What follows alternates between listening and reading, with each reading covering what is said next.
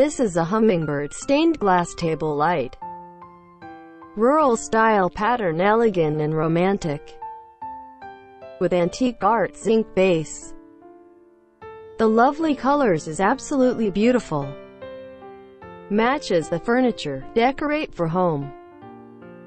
We choose high-quality stained glass.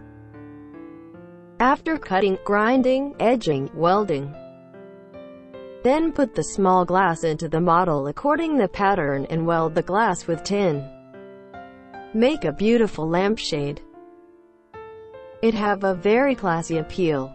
It is also easy to assemble. The on-off switch is in the cord.